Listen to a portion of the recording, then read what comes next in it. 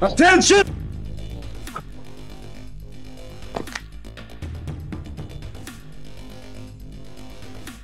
You wasteful bastard! Your daddies should have nutted inside a tissue and flushed it down the toilet. Sir, yes, sir! Now, will someone tell me who started this? Now!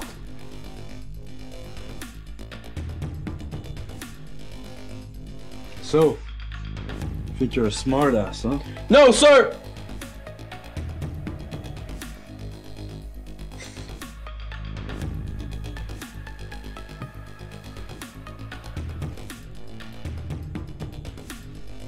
Everybody out! Except for you.